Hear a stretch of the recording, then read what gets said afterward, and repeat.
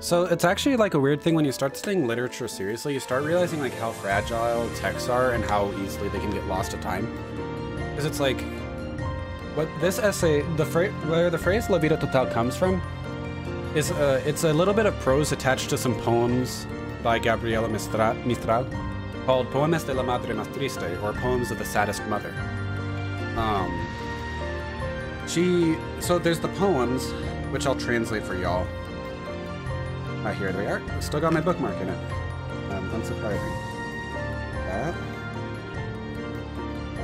Oh yeah, I I've got a suffrage commemoration, a women's suffrage commemoration bookmark in the because that's when I was studying this. It's like it was like the uh, cent like uh, I think it was a centennial of uh, uh, like general women's suffrage in the United States. Um, yeah. So before we get into the essay, I should let's we could go ahead and read um, uh, read the the sort like the main text that I'm working like that I'm thinking of while I'm writing this piece while I wrote this essay.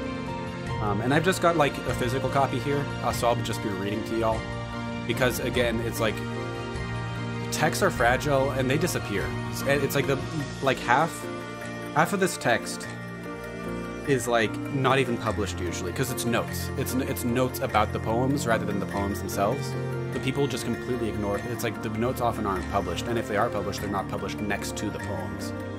Um, it's just like this specific edition published by the La Real Academia Española, an, an anthology of uh, Gabriela Mistral that has it published this way. And I was able to benefit from that greatly in my research and my writing, but it's like that's super frat. It's like it's just by chance that I happen to have this right edition that happens to publish it in a complete fashion. But yeah, so I'll read it first in Spanish. Um, I'll read the I'll read the poems. I'll reach. It's like it's got three chunks. I'll read each chunk in Spanish first, and then I'll translate it. Um, it's going to be a live translation, so it might not be a very good translation. Uh, it's certainly not going to be poetic. Uh, but uh, but yeah. Also, is the music better, Greenstack? I, I turned it down while I was looking for the book. I saw your message. Is it better now, or should I still tweak it a little bit?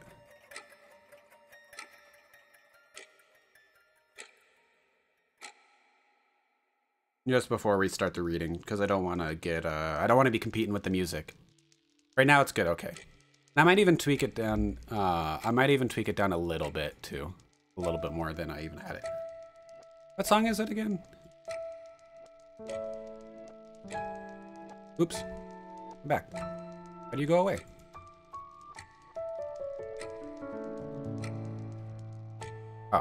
That's weird. Oh, yeah, yeah. This It's a long song.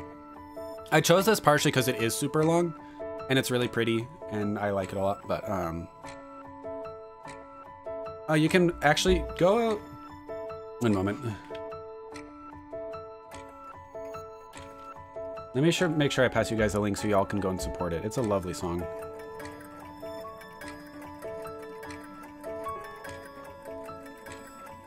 Here we are.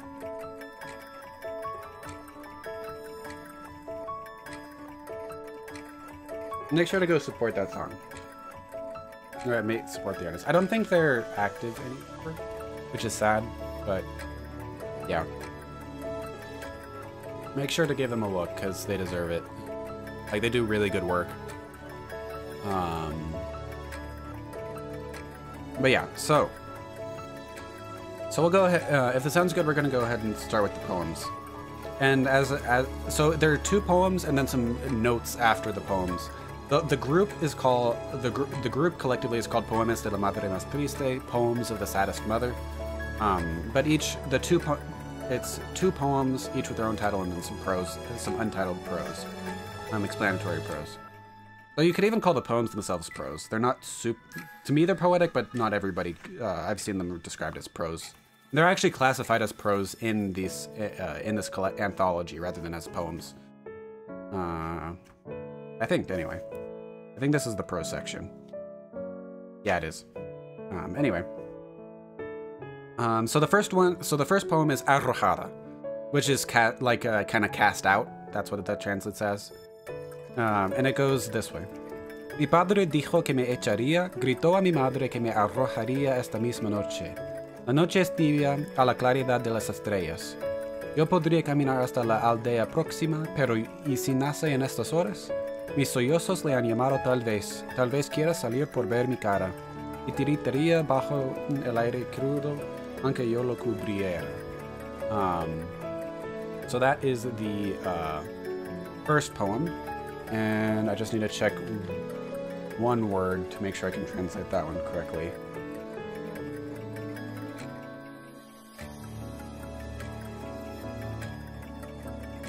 Okay, yeah.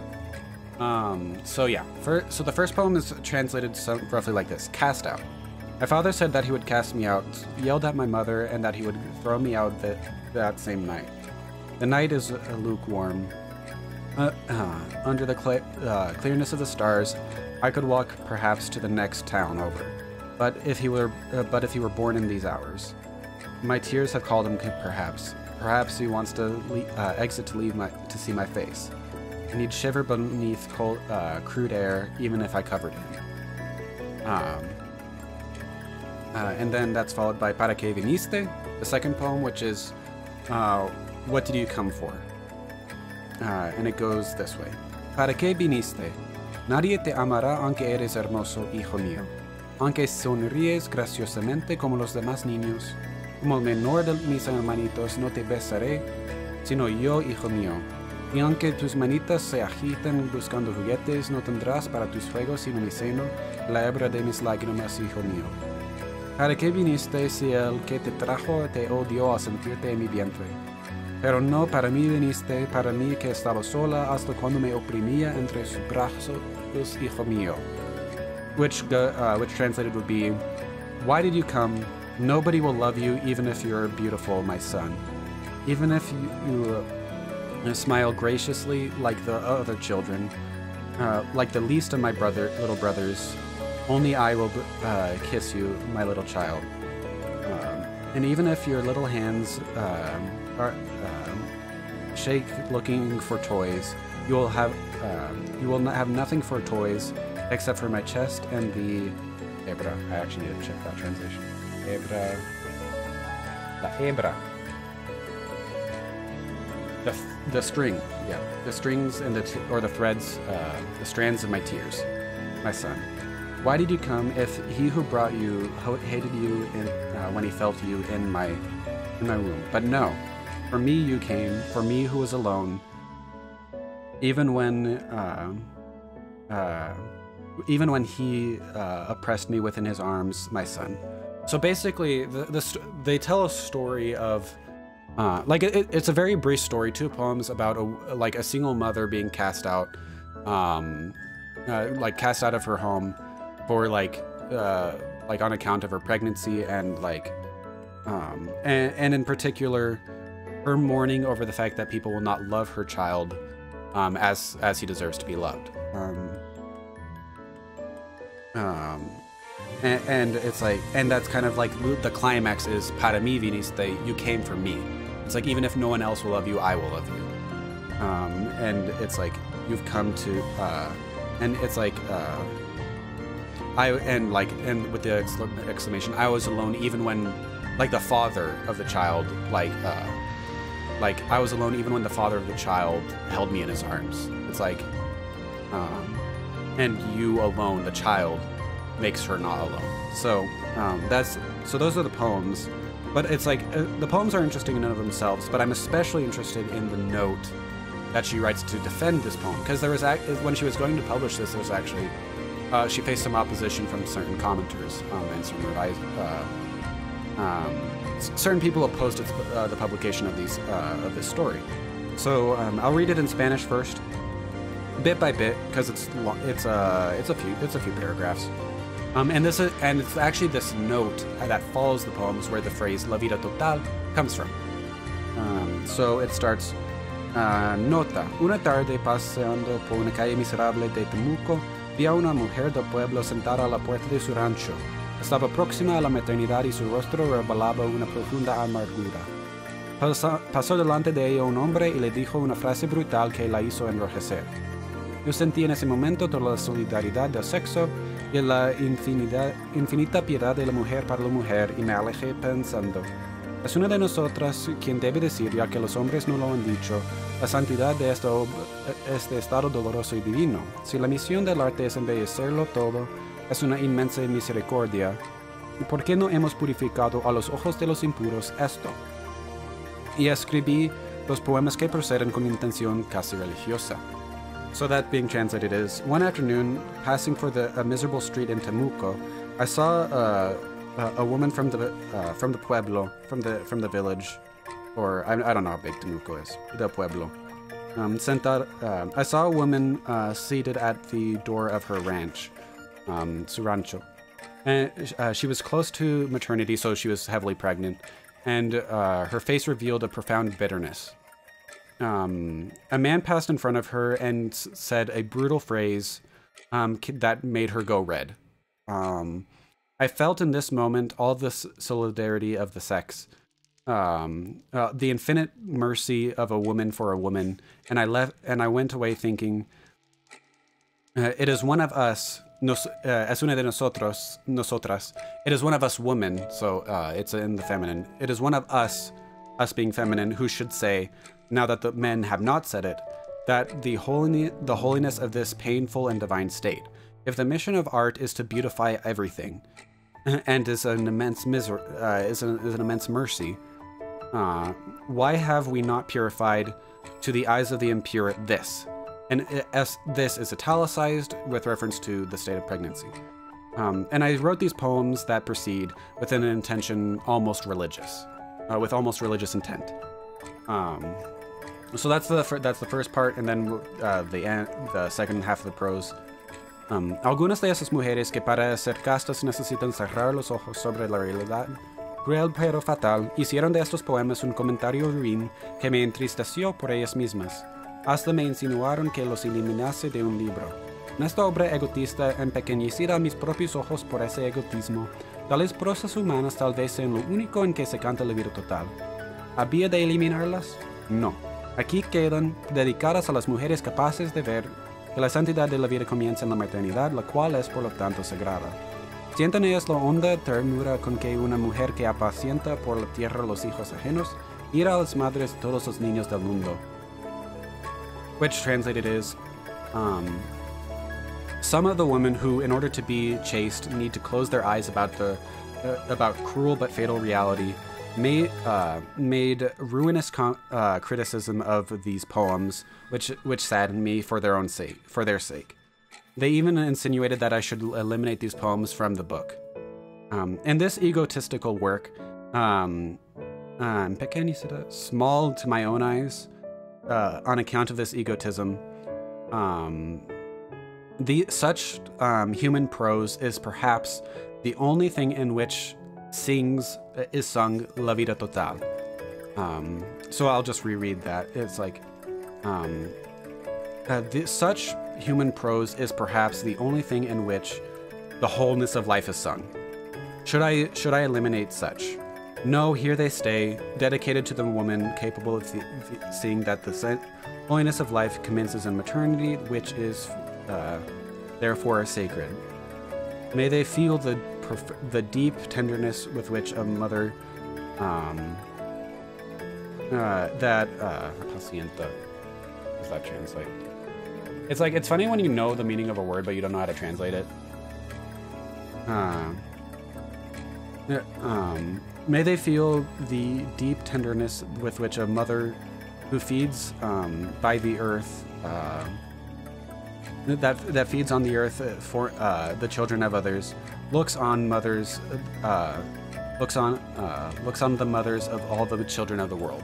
So that's um, Gabriela Mistral um, is um, just a little bit of off uh, description of her. She is, was a Chilean educator. She never married. She never had children, but wrote extensively about motherhood, um, and was very um, interested in the theme. And that's kind of where La Vida Total comes from. Uh, or that's why that's kind of the motivation of that. So that's just kind of the groundwork for um, this text, um, which where I focus more on that concept of la vida total, and like let's talk about these prosas prosas humanas, these this human prose in which the wholeness of life is sung. because that that phrase in particular fascinates me. Um, um, certainly, I would agree with Gabriela Mistral that uh, the Poemas de la Madre Más Triste, like the, these stories about um, motherhood, deeply sing of the wholeness of life. But I, it's like this is kind of uh, this essay is kind of like taking a, like kind of building off of that that start that starting spot. So, um, uh, vamos. Um, so yeah, we'll go ahead and read the. So it's like now that you know the text from which it comes, hopefully the essay will be more meaningful. And I do describe the the text somewhat in in the essay, but it's like you know, it, it's better to read the full thing and like know what I know what it's based off of. Um, and the other thing to mention is um, poly- polyphony.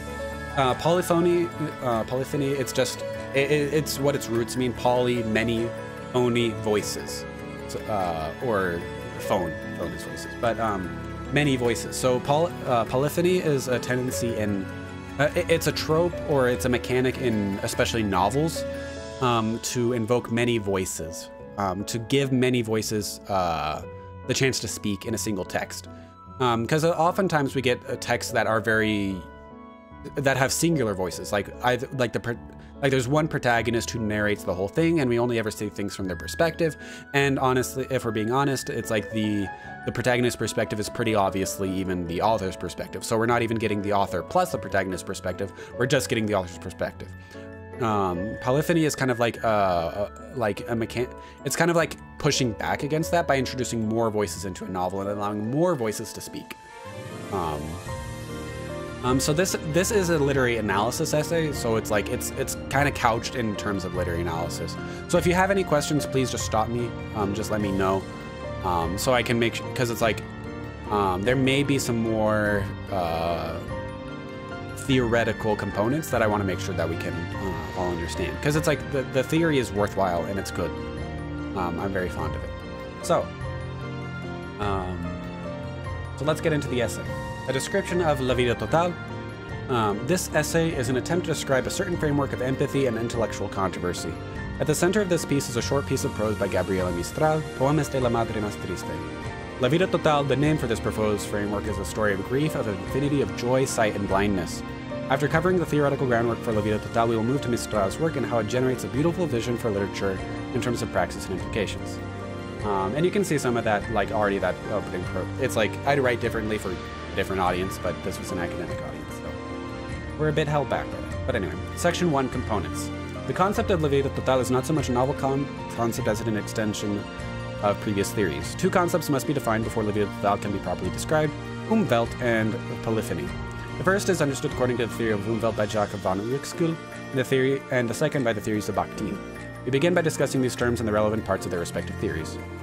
An Umwelt, plural Umwelten, is an organism's unique sensory world, more complexly, Hermann Weber defined it as the totality of conditions contained in an entire complex of surroundings which permit a certain organism, by virtue of its specific organization, to survive.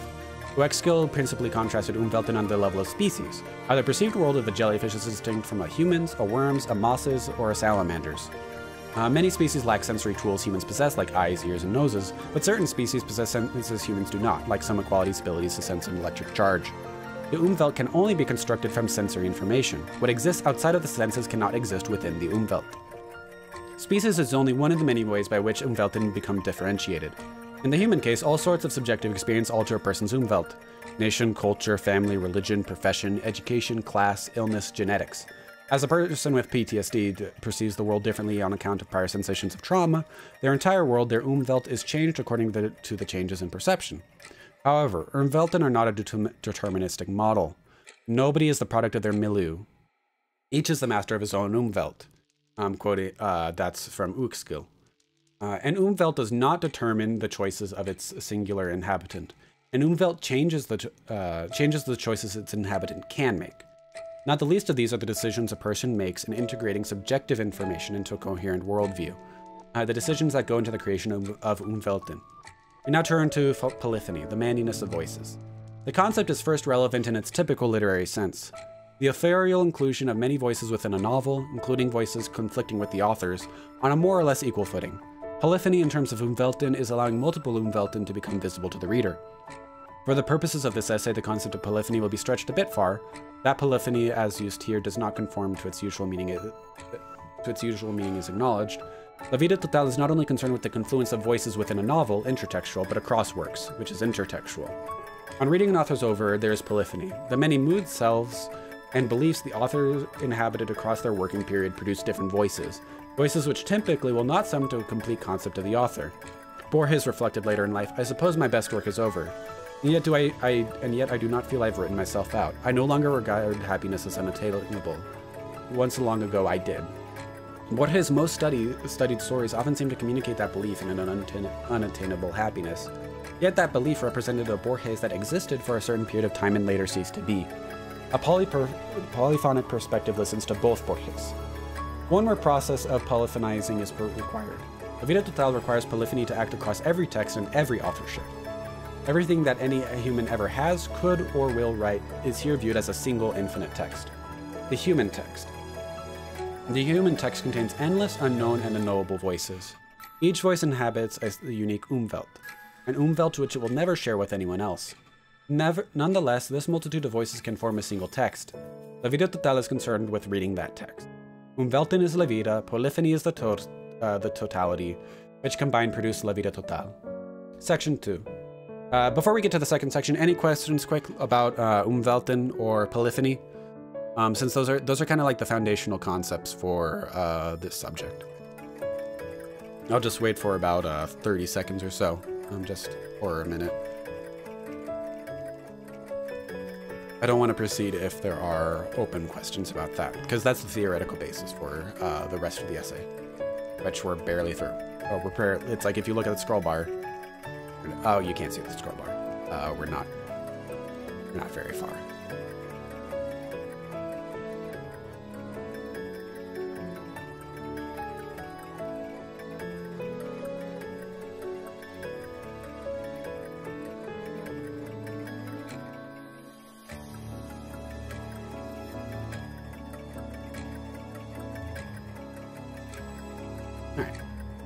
If you do have any questions, go ahead and still uh, feel free to leave them in chat, but I think I will go ahead and transition into the second section, La Vida Total. What then is La Vida Total?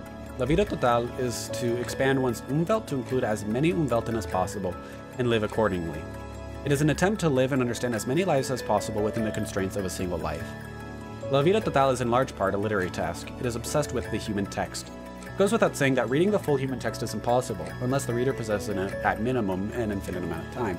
Many of its parts are irreversibly lost, just as many of its parts will never be written. Many authors exist in pure potentiality, prevented from ever exceeding the mind. How many texts are unwritten solely because the author was illiterate and impoverished, without the resources of text creation? All these, although these texts cannot be read, they exist, and therefore enter the human text. It is written by everyone constantly. It contains everyone's stories, every dead man's untold tales. Olmec farmers, Sumerian accountants, Jainist mathematicians, Norte Chico arch architects, Kentucky gas station clerks, Taiwanese school children. All their contributions are co-equal components. La Vida Total is instead the incomplete reading of the human text. It is a finite contemplation of an infinite literary object. Many things are hidden in the infinities of the human text. The human text is a timeless, spaceless, unchanging text composed of the deeply spatial and temporal Umwelten, it encompasses humanity's past and future, but also alternative histories that exist purely as potentials. The worlds of fiction too figure in the human text.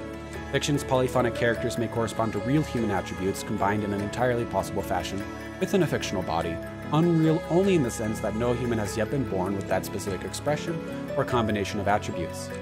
If not, they correspond to flaws in the author's beliefs about humanities, flaws which must be accounted for in the total concept of humanity. It seems reasonable to call whatever worldview or beliefs that result from comprehending the human text capital T truth. The La Vida Total is also a search for truth. La Vida Total is a constant, constant accumulation of incoherent, apparently contradictory data and narratives, filtered internally through the reader's own sensory devices. So this is the final key aspect. Uh, harmony. Just as the reading of the human text will always be complete, so will the interpretation and reconciliation of all that has been read. On some level, every Umwelt belongs to the same world, produced by the same laws dictated by the character of this universe and its human subjects. This common genesis guarantees all these disparate umwelten subjectivities and expressions can be reconciled in polyphony. polyphony. Impossibility and paradox are recurring themes in La Vida Total. After all, the very definition of an umwelt precludes understanding even one umwelt outside of one's own. With respect to reading, interpretation, harmonization, and finally application of all that has been learned, each is an infinite task alone and an infinite task combined. There should be no pretense that living La Vida, La Vida Total uh, is terminable. Instead, it is the belief that it is better to go as far as one can down this path of reading, learning, and growing, despite the fact that the end will never come. 3. An our text for La Vida Total, Poemas de la Madre Más Triste. Poemas de la Madre Más Triste by Gabriela Mistral is an essential expression of this framework. It is a pair of prose poems followed by a brief explanatory note. The phrase itself, La Vida Total, is taken from the explanatory note. Tales prosas humanas tal vez en lo único en que se canta la vida total. Or such human prose is perhaps the only, uh, the only thing in which the totality of life is sung, or la vida total is sung. Gabriela Mistral escribió los poemas con intención casi religiosa. After uh, Gabriela Mistral wrote these poems with an almost religious intent after witnessing a pregnant woman be brutally insulted by a man passing by the woman's ranch. The first poem, Arrojada, deals with a pregnant woman being cast out of her home and abandoned by her family and lover. The second, Para que viniste, is the woman's soliloquy directed at her child, in which she laments how the child would be unloved by all but her, yet the child came to be in order to comfort her. The act of co-suffering that prompted her to write these poems was from the beginning an expression of La Vida Total. She states her purpose as beautifying motherhood, a state she never possessed, being childless her whole life. Yet her poetry is that of a mother. She lives another life vicariously through her poetry. Poemas de la Madre Más Triste is about the umwelten of single mothers in their full complexity. The stress of abandonment and loneliness, the difficulties of motherhood, and the unexpected sorrow and desire are assuaged not by a but are assuaged but not erased by the unconditioned love between mother and child. Gabriela acknowledges the great power of love, but does not shrink from the despair and isolation that sometimes accompany maternity. La Vida Total, as exemplified in these poems, wrestles with the opposing forces and perspectives that occur, ju- not just outside the individual but within. Oppositions are allowed to coexist, not in peace per se, but without the demand that either side cease to be. This is hardly unique to poems de, la de las Madres Más Tristes in Mistral's work. As Alegria observes, her work is composed of professional confessions, human documents instead of literary exercises. He describes her poetry as a voice too strong for the little songs that it wishes to sing. The movement is always there, a powerful, vast, rhythmic upsurge that encompasses people, landscapes, passions, hopes, bitterness, faith. Mistral dives deep into her own life and lays it bare in her production of poetry. The intensity of emotion which adds such force to many of Gabriela Mistral's poems giving them the appearance of being wrung from the very depths of the poetess's soul. Mistral understood how La Vida Total is a deep dive, not just into the souls of others, but into the umwelt of oneself. In accordance with the polyphonic spirit, the phrase La Vida Total is not exclusive to Mistral. José Martí too invoked it. En la vida total han de ajustarse con gozo los elementos con, eh, que en la porción actual de vida que atravesamos parecen desunidos y hostiles, which translated would be in La Vida Total, or in the whole totality of life, um, uh, it is necessary to adjust with joy the elements that in their current portion of life, that in the current portion of life that we uh, traverse, seem un- disunited and hostile. Ununited and hostile. So, um, it's not a very good translation. But, uh, and basically, Martí saying it's like in the Vida, in La Vida Total, you have to, um, adjust with joy um, uh, many parts of life that at least to our current within our current perspective and as we understand them as and as they appear to us in our current current and limited lives we have to take these un, uh, disunited and often hostile elements of life um, and ideas and truth and um, adjust them with with joy and um, um and help them square. Hoskova, I can't pronounce that. I don't know if that's a Spanish name. If that's a Spanish name, that's Oskova, but that doesn't look like a Spanish name. Uh, uh, Hoskova elaborates on Martí's connection into la vida total. En la concepción de José Martí, la armonía y la belleza surge por unión de lo contradictorio. Abarca angustia, tensión, espanto del mundo. En otro polo de la armonía tiene dimensión cósmica y dimensión íntima, unida con la ternura y la nostalgia por la infancia, which uh, it's translated as in the conception, in the con- uh, according to the In Jose Marti's mind, harmony and beauty arise from the union of the contradictory. Uh, it contains uh, anguish, tension, um, being startled by the world, being afraid of the world.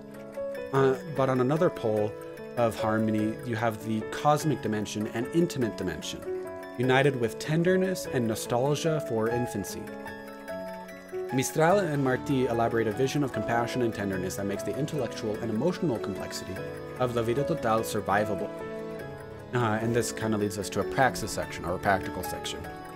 Because almost every step of the process is infinite or otherwise impossible, La Vida Total must use methods of approximation. The work of authors such as Gabriela Mistral is essential to La Vida Total. La Vida Total would be impossible without them. Authors perform the work of approximation simply by adding to the body of writing, the more sophisticated lead through techniques like polyphony and soul exploration. The study of their own senses, perspectives, and emotions, the world as they can perceive it. Each additional entry provides another finite piece to incorporate into the infinite text, thus bringing the infinite collection of readable texts closer to the infinite.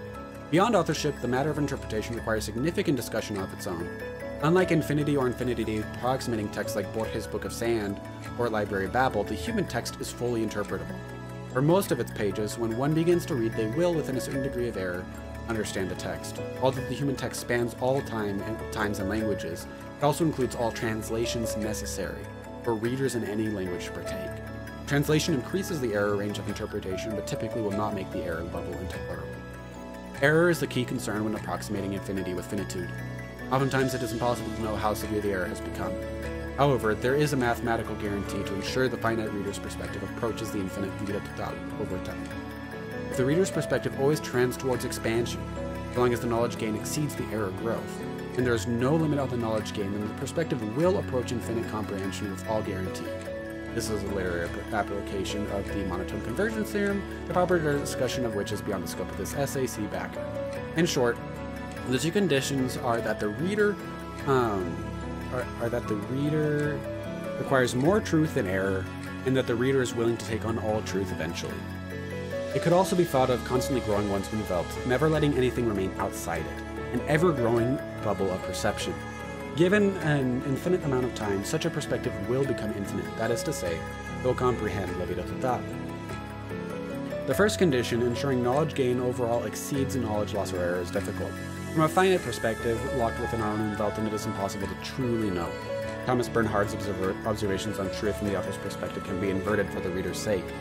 Truth, it seems to me, is known only to the person who's affected by it, and if he chooses to communicate to others, he automatically becomes a liar. Uh, whatever is communicated can only be falsehood and falsification. Hence, it is only falsehoods and falsifications that are communicated. What matters is whether we want to lie or to tell and write the truth, even though it can never be the truth and never is the truth. I really like that quote. The reader cannot even be sure that the author intends to write the truth. However, Bernhard's argument provides a decanter for separating texts valuable to the seeker of La Vida Total from those that are not. Texts that seek to tell the truth, and especially those that acknowledge their inability to capture the truth, are elevated. Texts that are unconcerned with truth are de emphasized. Texts that exploit, dehumanize, or devalue their subjects are condemned. As La Total is concerned with Umwelten, such texts can only be studied to comprehend the darkened Umwelt of the author because exploitation, dehumanization, and devaluation of others cuts the reader off from the subject's Umwelten, preventing polyphony and contemplation of La Total. By the same token, texts that emphasize kindness, sensitivity, and mutual understanding often, but not necessarily, serve La Total better than texts that do not. One more thing must be said respecting texts lacking value for La Total. Even though some voices must be rejected in their literal or Umweltenless interpretation, and even if certain actions must be condemned unilaterally, part of La Vida Total is still acknowledging the Umwelten that produced these voices and actions. It is often required of the reader to reject the belief or action expressed, but understand why that belief or action came to be. The second condition, avoiding limits on knowledge, is not so troublesome, and largely be achieved by enjoying all good texts. La Vida Total is not a framework concerned with canonicity or short-term short-term cohesion. Vida Total requires macro and micro narratives, modernism, postmodernism, paradox, multiculturalism, literary revival, and the enfranchisement of diverse perspectives. The old canons cannot produce La Vida Total in their centering within specific historical cultural moments. New canons can do no better. Simply establishing a canon of integrated diverse authors and cultures will quickly fall behind the growth of literature. To say nothing of how any canon will necessarily exclude works regardless of source that may benefit the particular reader in their Umwelt more than the canonical texts. The reader should not cut themselves off from the broad domains of human experience religion, science, literature. Each offers human testimony. This is also true of media and moods. La vida total cannot be found solely through serious philosophy or contemplation. Auxiliary, preposterous, and casual works all form an essential and beautiful part of the human text. As somewhat embarrassing but useful, as a somewhat embarrassing but useful demonstration of this principle, this author, essay's author cried to the Swedish pop song Carl Dansen because of its sublime demonstration of this point. Silly media is not the end of the unconventional in La Vida Total. Sometimes knowing preposterous interpretation can be profound. Knowingly preposterous interpretation can be profoundly valuable. Borges highlighted this in Kafka y sus precursores, or Kafka and his precursors. The essay aptly begins with one of Zeno's paradoxes of motion, which, like La Vida Total, are resolved by infinite methods. Highlighting a number of Kafkaesque texts that predate Kafka, Borges observes Si no me equivoco, las heterogéneas piezas que, he enumerado se parecen a Kafka. Si no me equivoco, no todas se parecen entre sí. Este último hecho es el más significativo. En cada uno de esos textos está la idiosincrasia de Kafka, pero si Kafka no hubiera escrito, no la percibiríamos. El hecho es que cada escritor crea a sus precursores. Su labor modifica nuestra concepción del pasado como ha de modificar el futuro. Or translated, if I'm not wrong, The heterogeneous uh, pieces that I have enumerated all uh, all resemble Kafka. If I'm not wrong, not all of them appear uh, resemble each other. This last fact is the most significant. In every one of these texts, there's the there's Kafka's idiosyncrasy. But if Kafka had not written, we would not perceive that idiosyncrasy in common. Uh, this fact is the, the, fact is that every writer creates his, uh, their precursors. Their labor modifies our conception of the past just as it ought to, just as it must modify the future.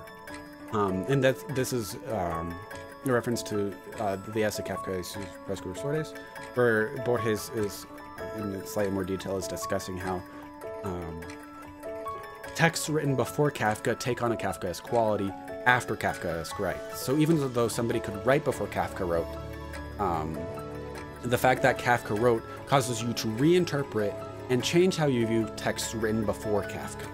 And you see how those texts led into Kafka and created Kafka. Um, but if Kafka had never written, you would never see that connection. You would not realize that all these texts were converging on Kafka. That Kafka was the sum and like the natural result of these many different texts with many different trends that do not necessarily resemble each other. But once Kafka exists, you see how they were unified and how these many texts come together and were related. It is preposterous, so just returning to the essay, it is preposterous to read a text predating Kafka as being Kafkaesque, and yet doing so can produce incredible textual and philosophical insight. Similarly, there are many occasions in which using a knowingly mismatched interpretive frame can be a valuable exercise, so long as the reader readily acknowledges that they are not interpreting the author or even the text but their own modification. Uh, in addition to the variety of texts, the reader should understand that a large part of La Vida Total is acknowledging the validity of enemy or opposing beliefs in Umwelten. Every reader is insufficient on their own, just as is every author. There is a certain requirement of humility.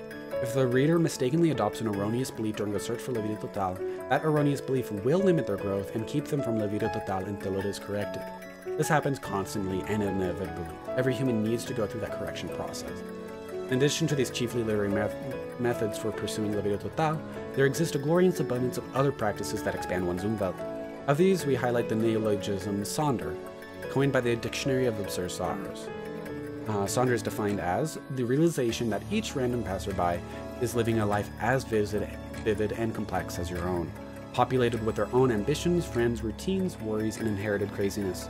An epic story that continues invisibly around you like an ant hill sprawling deep underground, elaborate passageways to thousands of other lives that you'll never know existed, which you might appear only once, as an extra sipping coffee in the back room, as a blur of traffic passing on the highway, as a lighted window at dusk. La Vida Total is about exploration, discovery, and the beauty of diversity.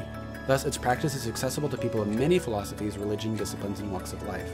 The practitioner cannot do it all, like so many other parts of La Vida Total. Diversifying the methods and disciplines employed for the expansion of Welten should prove fruitful. and finally, the conclusion. Unsurprisingly, the discussion of La Vida Total cannot be completed. Like any stopping point in an infinite process, what is included and what is exclu excluded is a matter of practicality. However, some final comment, some final comments should be valuable. La Vida Total is an aesthetic of beauty built from human difference and conflict. Interest in La Vida Total is often attached to suffering. Gabriela Mistral employed La Vida Total against the dehumanization of mothers in Poemas de la Madre Más Triste. Work elsewhere represents a struggle with powerful internal pain or troubling outside forces. Mark identifies each of Poema del Hijo Meciendo, El Niño Solo, Poemas de la Madre Más Triste, and Poemas de las... Uh, that's a typo. Um, and Poemas de la Madre Más Triste as possible expressions for a struggle with childlessness. José Martí died a martyr in order um, not to die of illness in Cuba's war for independence, war that ultimately subjugated Cuba to other foreign powers and set the foundation for the Castro dictatorship. This essay's author has turned to La Vida Total in response to the study of the true nature of genocide and the despair that comes with from being unable to save or support anyone involved, mad from their madness, the victim from the cat. An objective model of reality cannot be correct unless it fully explains every subjective reality, every Umwelt. Uh, enough Umwelten are pierced through with profound bitterness, pain, and suffering. The innocent, carefree child is part of it, so is the child soldier. La Vida Total subjects its devotee to contemplation of pure pain and evil, which must be reconciled with the purest love and joy, as an attempt to deal with the world as it is and seem truly understand what to make of life. And the end.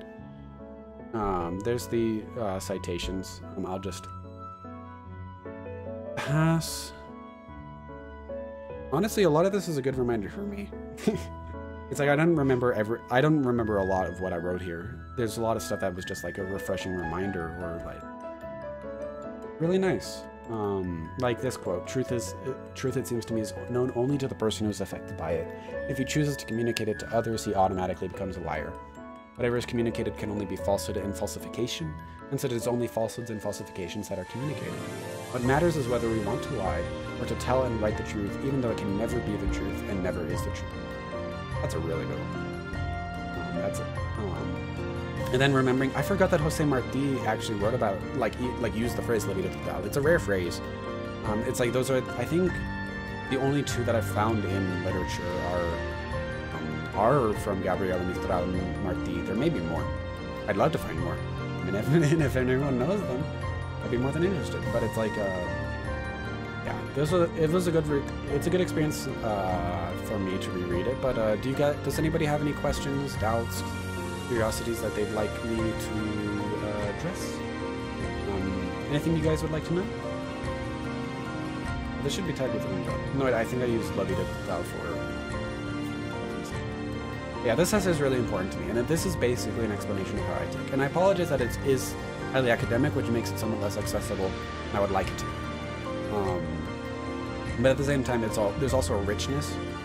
It's like the depth of what I'm trying to describe here, and like the richness of it, is hard to describe without that academia, without that theory, um, because the theory, it, it's like it's motivated by theory, and it's like that theory is kind of like where a lot of that substance comes from. So it's like I could cut that theory out, but you would have an inferior it, it, uh, you would not necessarily. It's like you'd have a very different product, and it would have virtue, but it would not have a lot of the virtue that this particular essay has. I guess is a good way to put it, and it would take a lot of work. Like this is uh, 10 or 20 pages, I forget. I think it's a 10 pager, but um, um, how long is it? Counting citations, it is 15 pages.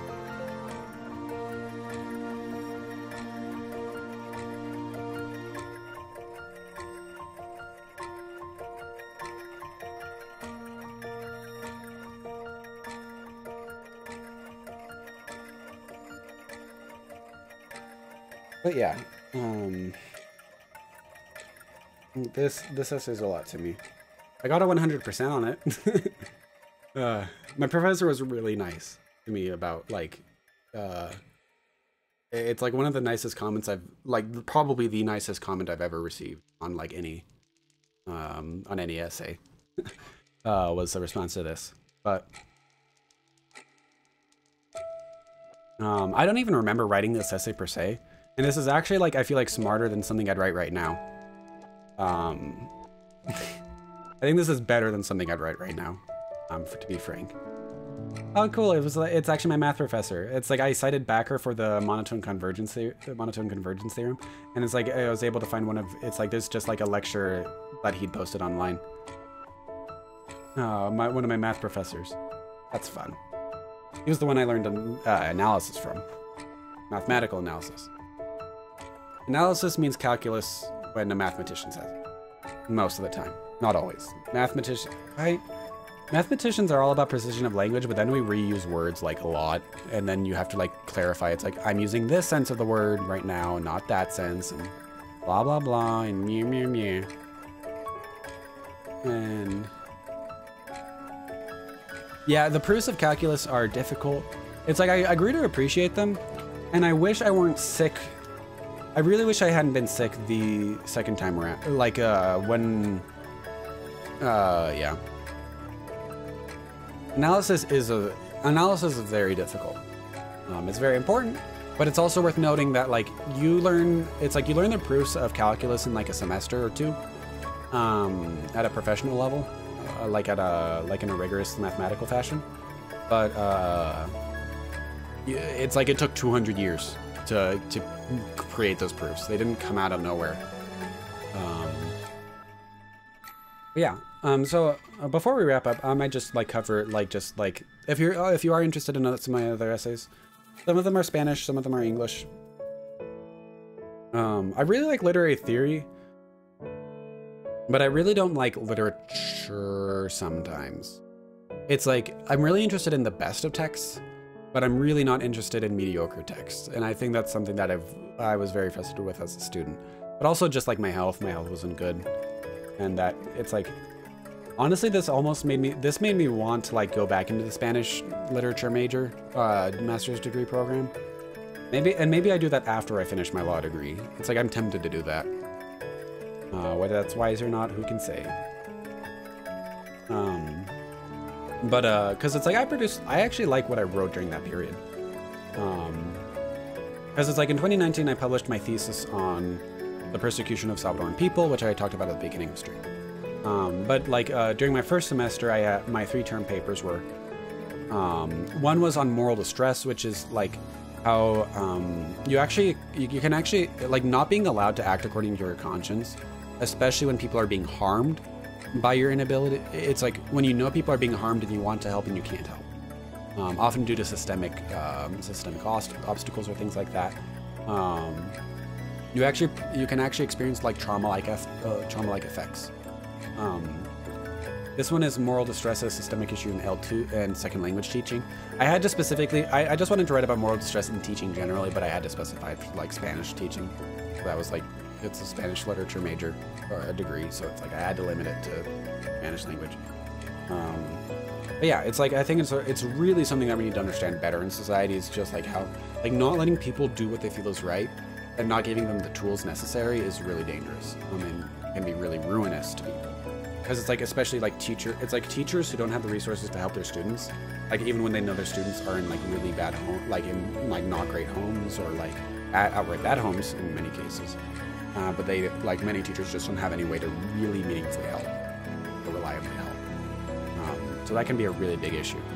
Um, and and it's like it basically causes teachers to absorb trauma um, absorb the trauma, the trauma of their students and, and experience severe distress and then uh, human rights advocacy and synthesis, viewing power and foulness and powerlessness.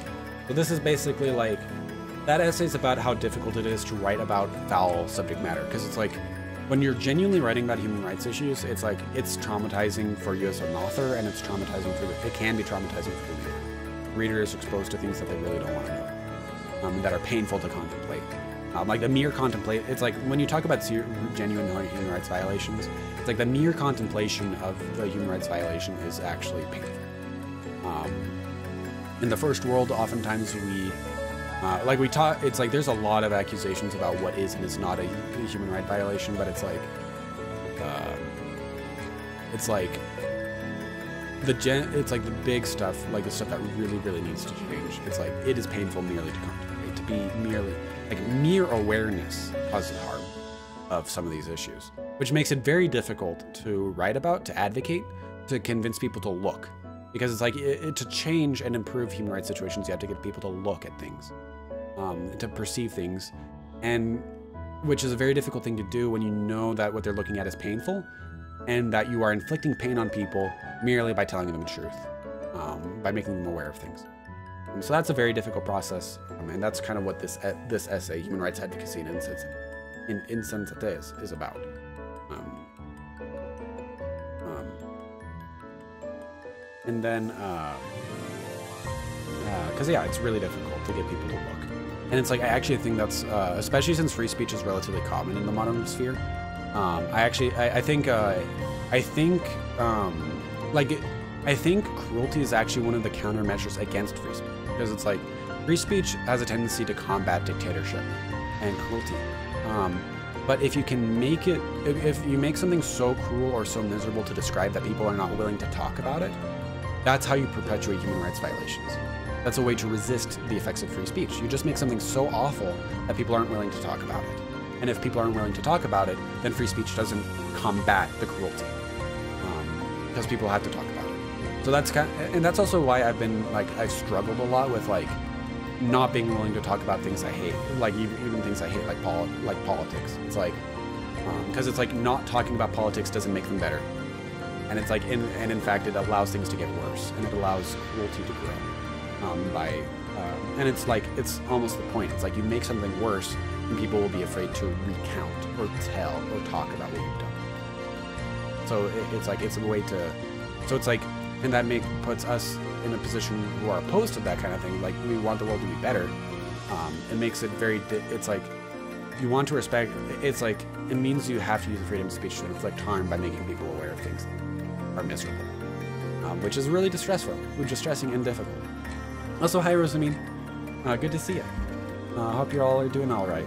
We're just finishing up uh, essays. So, and then a description of the Vida Total is what we just read. Um, so, watch the VOD if you want to know about that one. I love it. It's like, I, that's a probably, um, it's a very important essay. Um, and then, um, then uh, my second, then I didn't even put one of the essays I wrote for the second semester here because I was just like, my second semester of Spanish literature, it's like, it was just like, it didn't produce anything. There was no up, like, there's no, it, it, produced very little passion. And some of that definitely has to do with illness. Um, like the illness I was experiencing, um, like, frankly, it's like, it's like, I couldn't focus in my classes as well as I wanted to. So that doesn't help. Doesn't help at all. Um, and it's like this this essay i actually like my professor professor actually had to like insist i take more it's like insist i not force myself to write it he gave me like almost like two weeks of extension to write this like and at his insistence my health was so bad and like my like my mental was just like like i was a wreck at this point um and, and it's like and that's just a lot of it is just like i'm sick and I have a hard time keeping up with life um but yeah, because it's like I didn't want. It's like because I have a hard time. It's like I, I have a hard time asking for that because it's like professors are scary and dangerous, and half of them are disrespectful. Uh, if you seek accommodations, it's like if you seek accommodations from a professor, if a professor uh, like encourages you to take accommodations, go take them, do it. Because it's like it's so much easier for them to. It's like if they offer you accommodations, you know you're in like in the green. If you have to ask them for accommodations, that's the. That's what's terrifying. Because it's like because it's like if a professor is willing to like acknowledge like your needs great great but if they're not asking them isn't going to change. And that and that's the hard thing. Uh, it's a really hard thing. And it's like i kind of hate the it's like i love my good professors but my bad it's like bad professors are just like they literally ruin your life. And it's like it's like you want to beat them over i i don't know. You you just want i don't want to beat I, that was just like me talking. It's like I just want them to like not teach. Or not it's like it's like or even that, just like I just want them to like have some dang compassion. And not like abuse you as a student. Anyway. Um but yeah, so uh, but yeah, I actually produced three essays. The third one isn't here because I didn't like it. well, and it was also an analysis for like a mediocre Chilean film or something. It's like it was a good film and then the ending was awful. uh but uh, but yeah. Also, I kind of like that professor drove me insane because it's like we had arguments about magical realism and what is and is not magical realism. It's like if it's like if the characters are going to claim that they're winning musical duels with the help of the devil, I think that's magical realism. It's like if the devil is enchanting musical duels and like enchanting a flute to get or like or, or it was an accordion. It's like if if the devil is enchanting an accordion to make it like to make you win every duel you did every musical duel you you enter, then that's magical realism, okay? That's magic. it's not necessarily magical realism, but this specific text was this specific film was magical. So it's like it's it's at least magical, and that specific film was magical realism, because it's like, oh my gosh, I don't know. It's like some professors are really obnoxious. They're really, I, oh my gosh. Um, but uh, so the uh, two essays that are actually here, um, let's talk about them. So, Con amor al noir, una teoría de empatía literaria. So, so, so, both of these essays are only available in Spanish. Uh, translating them would be a pain in the neck. Um, but I could if you really, really, really, really, really, really wanted to. Um, so Con amor al noir is basically it's basically like trying to reconcile noir with uh, like argue that good noir because there's like good and bad noir. Like the the noir that's really worthwhile is basically kind of like in the La Vida Total kind of thing. It's like um, noir like really good noir is about like encouraging empathy and like allowing and like opening up perspective. Um, not just like trashy like evil protagonists killing people and being bad. That's kind of that's kind of not fiction if it's um, and then this essay I actually think is really cool. Um, La locura sana y la violencia enfermiza. Don Quixote como hombre más violento que loco. Um, that, that title is um, uh, Healthy Sanity and uh, Sickly Violence. Don Quixote as a man more violent than insane. Because Don Quixote is famously, it's like everybody knows Don Quixote for his insanity. Um, and that's kind of like a, where most people interpret Don Quixote.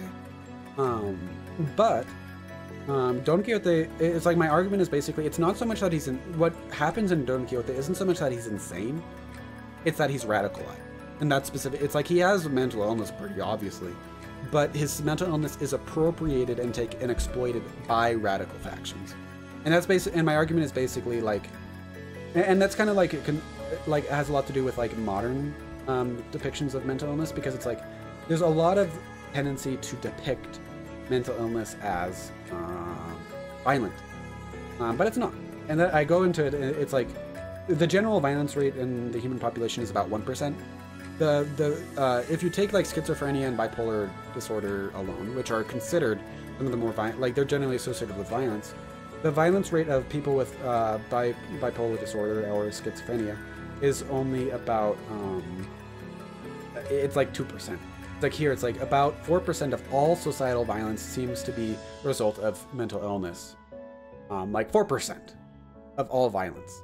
What's really going on is like uh, radicalization, both of mentally ill and non mentally ill people. Um, like if we look at violent events in the United States or in the world, it's like it's not mental illness is not what's going on. Radicalization. It's people being convinced that violence is okay. Um, and it's like I go into um, so, and I specifically do like an analysis of like chivalric literature. Like chivalric literature is full of radicalization. It, it's trying to radicalize its uh, readers. Um, and it's like, and you actually get people today in 2022 who read chivalric literature and become radicalized. Because that's the purpose of chivalric literature, it's to produce violence. And it was a specific kind of violence to, uh, like, to correspond to specific societal needs of, like, uh, chivalric medieval societies but it's still violence, and it's completely out of place in uh, the modern world. Um, uh, uh, and it's like I take this is like a Facebook post from uh, like that was like discovered by like anti-extremism researchers. Um, uh, oh yeah. Oh, here's an English quote.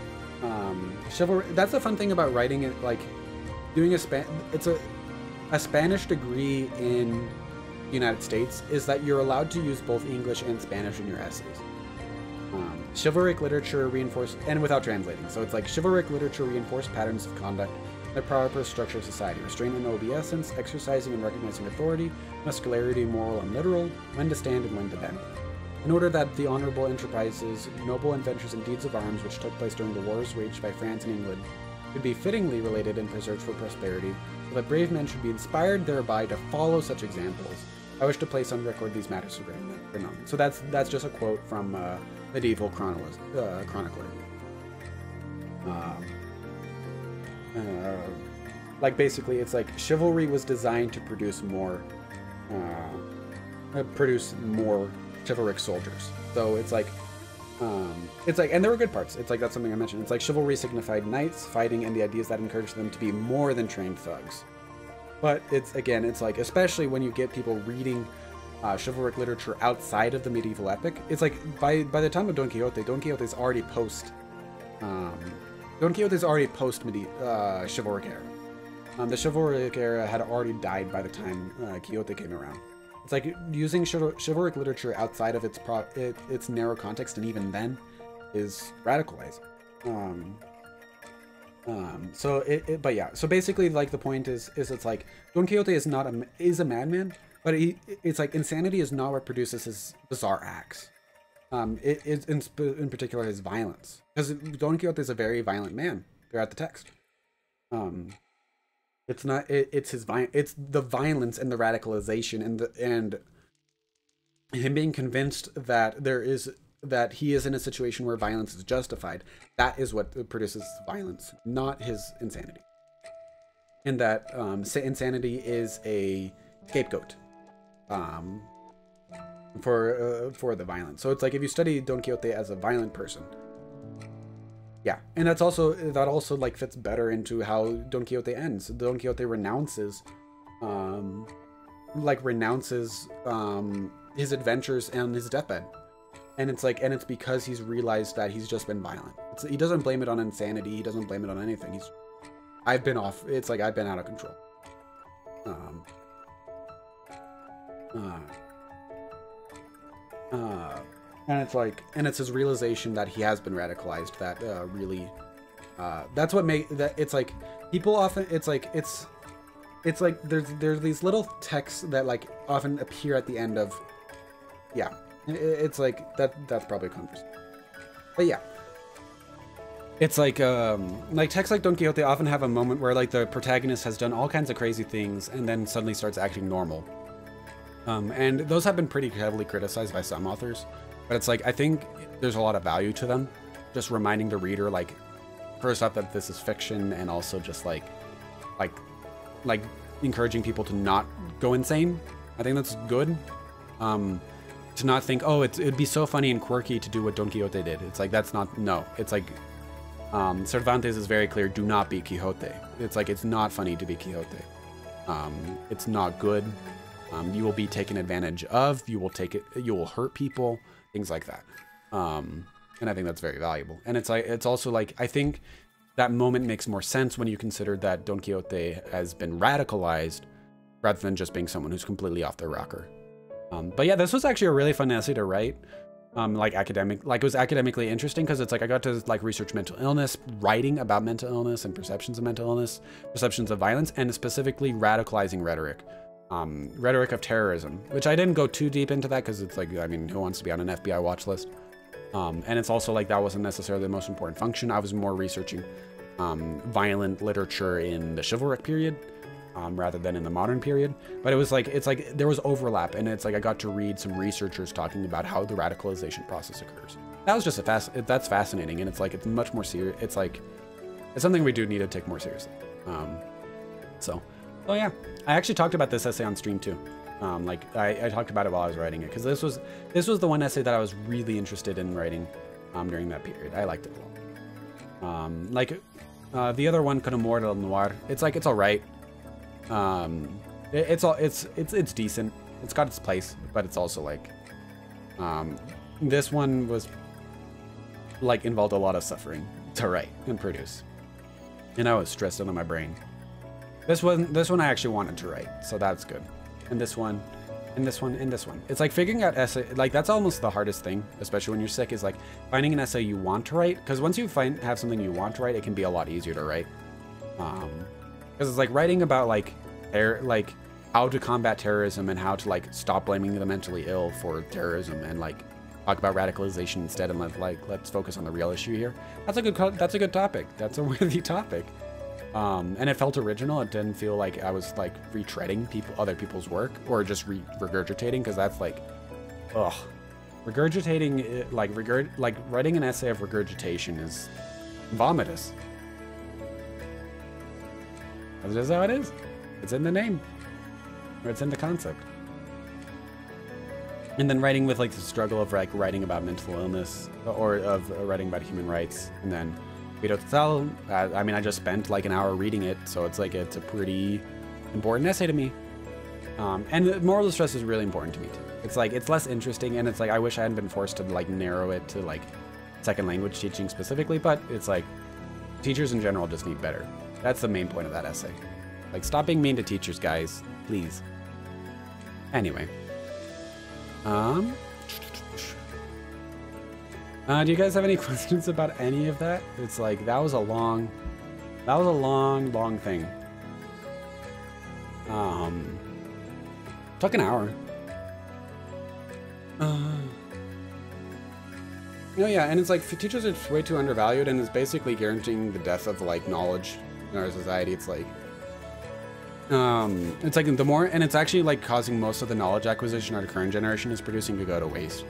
Because it's like, if you don't pass on knowledge, it's like it's just gonna disappear within one generation. Woohoo.